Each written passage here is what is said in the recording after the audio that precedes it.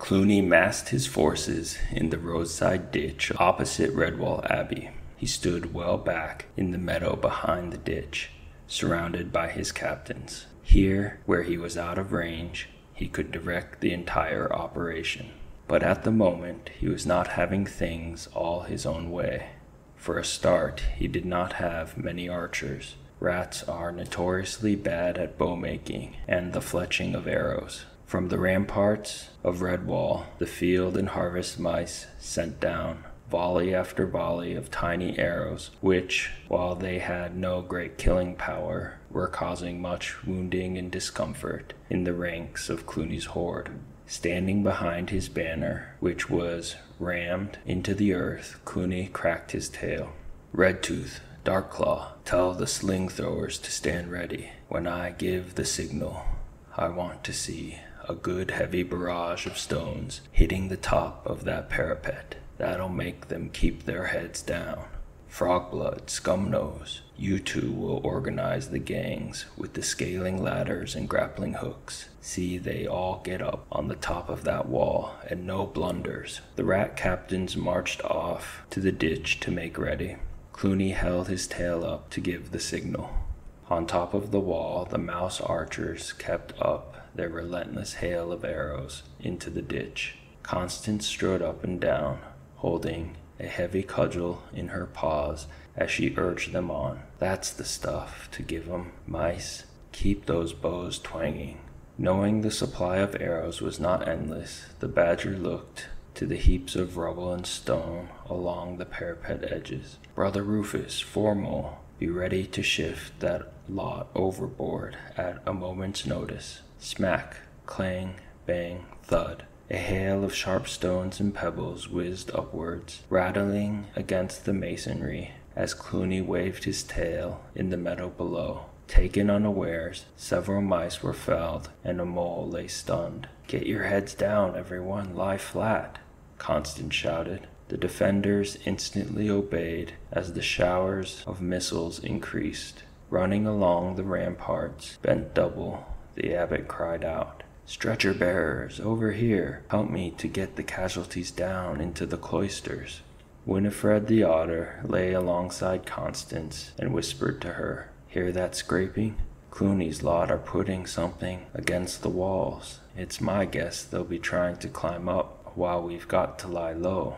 Even as Winifred spoke, two grappling hooks with climbing ropes attached came clanging over the parapet and lodged in the joints. Stay low, my friends, whispered Constance. Give them a bit of time to get off the ground.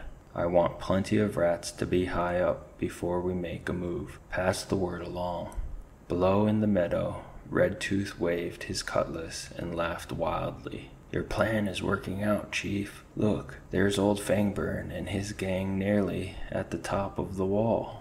Cluny lifted his visor to get a better view. It was too late to call out against what he saw happen next. A veritable avalanche of earth and rocks cascaded over the parapet. It smashed straight onto the main ladder. Rats screamed aloud and gasped at midair as they were swept from the ladder to the road below. The ladder fell sideways, cannoning into another one that had been set up beside it. As both ladders fell, there were scenes of mass chaos. Badly wounded and shocked, the survivors on the roadway tried to crawl back to the safety of the ditch, only to be buried beneath rubble which thundered down on them. Many lay trapped beneath the heavy ladders that had fallen. The air resounded with screams and moans. Cluny ranted and swore. Leaving his standard, he rushed across the meadow. Taking the ditch in a single leap, he darted across the road. Grasping a hanging rope, he began hauling himself up, claw over claw. As the solitary beaver gnawed through the last strands, the rope parted. Cluny fell from a fair height and sprawled on the dusty road in an undignified heap. Cluny flung himself into the ditch. Regrouping the sling throwers and a few archers, he ordered them to await his command. At the top of the walls, the last climbing rope had been severed. A hearty cheer rent the air as the Redwall defenders broke cover to survey their handiwork. Fire! Cluny roared. Stones and arrows sped upwards with devastating effect. Several mice and woodlanders cried out and fell. The results heartened Cluny. All was not lost. He began devising a new plan. In Mossflower Wood, Ragear was struggling with the rope that bound him to the oak tree. He could hear far off sounds, which meant only one thing his chief was attacking the abbey. Straining his neck downwards at an uncomfortable angle, Ragear was able to get his teeth into the tough climbing rope. If he could manage to free himself, he might be able to sneak back and join the horde. He could mingle with them and deny that he had ever been missing. Cluny might also take a lenient view of his desertion if he could distinguish himself during the battle. The rope tasted foul, Ragear could tell by its scent that it had once belonged to Shadow. He'd never liked that surly, poker faced rodent. Ragear congratulated himself as his teeth bit through another strand. Ha! Take that rope and that. No rope can keep Ragear prisoner for long. He he he he. Poor old Shadow. If only you could see your lovely rope now. Ragear straightened up for a moment to ease his neck. His laughter died on his lips. A horrified gurgle bubbled from his throat. Icy claws of terror gripped his chest. Swaying hypnotically a foot from his face was the biggest, strongest, most evil looking adder that had ever been born. The rat was completely petrified. The breath seemed to freeze his lungs. The sinister, blunt head moved in a lazy rhythm, its forked tongue flickering endlessly in and out the round, bead like jet eyes never leaving his for an instant. Its voice was like dry leaves rustling in an autumn breeze. Asmodeus, Asmodeus, it hissed. So kindly of you to untie yourself, rat. Come with me. I'll show you eternity. Asmodeus, Asmodeus. It struck with lightning speed all that Ragear felt was a sudden sharp sting to the side of his neck. His limbs became flaccid, his eyesight shrouded by a dark mist. The last words Ragear ever heard on this earth were uttered in the adder's sibilant hiss Asmodeus, Asmodeus. Cluny scratched the floor of the ditch with his claw. It was all there, the design for his next move. He would attack the abbey secretly from the mossflower side. It would be a surprise maneuver. A hand-picked squad led by him would carry out the mission. Dressed in Cluny's war helmet and armor, Redtooth would stay back in the meadow. His disguise would be sufficient to fool the defenders from the distance of the high walls. The rats in the ditch were ordered to continue pressing home the attack until Cluny and his party scaled the walls from behind and fought their way across the grounds to the open abbey gates. After issuing orders to his remaining captains, Cluny, accompanied by a score of assorted rats, weasels, stoats, and ferrets, crept off along the course of the ditch. They carried with them the long plank from St. Ninian's Lynchgate fence. Silently they traveled in a northerly direction until they were out of sight of the walls. Climbing out of the ditch, they crossed the road into Mossflower Wood. Cluny sat on a fallen tree trunk and told his squad what was required of them. I'll wait here with the plank carriers. The rest of you split up and search the area for any big, high trees growing near the abbey walls. Make sure that the tree you pick is higher than the wall itself and not too difficult to climb. Got that? Right, get going. Cluny watched them stride off into the undergrowth. His previous good mood had deserted him. He was working himself into a foul temper over the day's performance by his mighty, conquering horde shown up by the simple tactics of woodland creatures and mice. He snorted and dug his powerful claws into the rotten tree trunk, sending beetles and woodlice scurrying as he tore out a chunk of the spongy timber. Oh, he had had them frightened at first. As a commander, he knew the power of fright. But once they had gained the upper hand, in the initial skirmish, the mice lost their fear and became bolder. That was when the battle had started to go against him. Granted, he had scored one or two small victories, but they were nothing to brag about. He couldn't use them as an example to put fresh heart in his troops. Cluny's only hope was that the mice would become overconfident and eventually make a mistake. It was the old waiting game.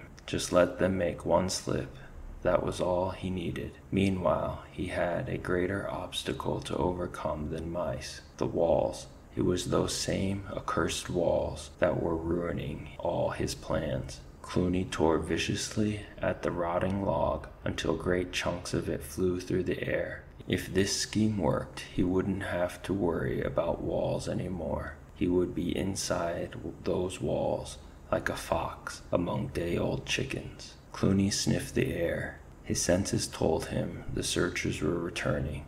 Cheese Thief and a ferret named Killconey came crashing out of the underbrush. They were trembling and twitching. Both looked as if they had been badly scared. It was some time before Cluny could get any sense out of them. Cheese Thief spoke haltingly, glancing back fearfully over his shoulder. Uh, uh, we like, we got a bit lost, Chief. Lost? Where? Cluny snarled. Killconey pointed a shaky claw. Over that way, you're yonder. And didn't we find a great strapping oak? Was it close to the wall? Cheese Thief shook his head. No, Chief.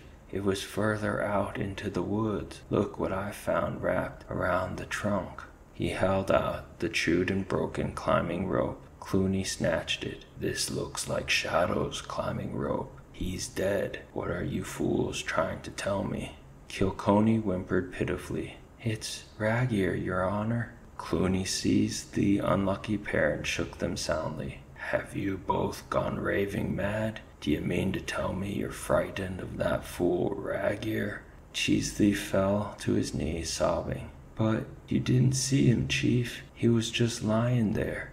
His face was all swollen and his tongue was sticking out. He had gone purple.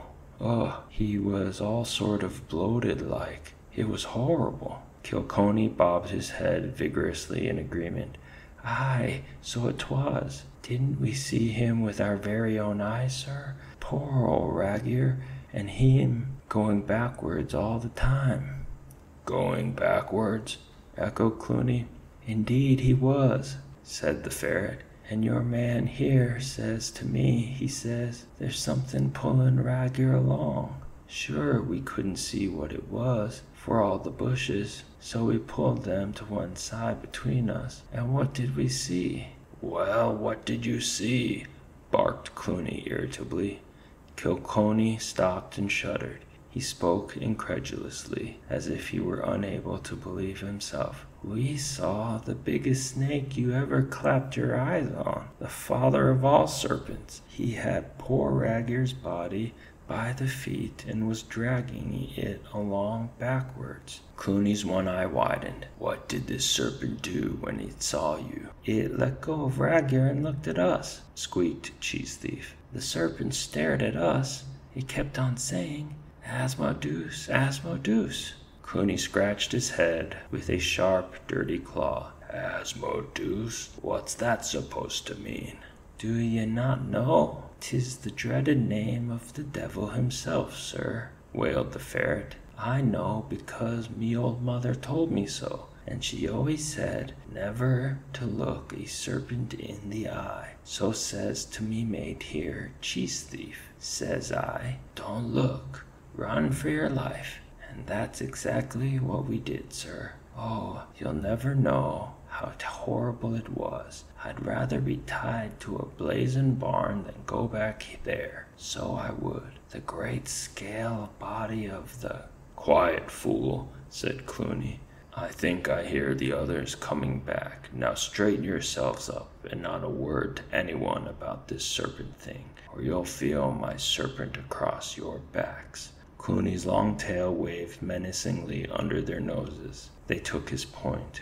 A weasel called Scrag came running up. He reported smartly with great efficiency. High tree near the abbey wall, chief. Elm, I think. Much higher than the wall. Lots of branches jutting out. Just the job for climbing. How far to this tree? Cluny asked. About ten minutes' march to the east, Scrag replied. When the rest of the party arrived back, Cluny had them form up in single file. They marched eastwards at a smart pace. The high tree did prove to be an elm, an ancient giant covered in gnarly bumps and handy branches.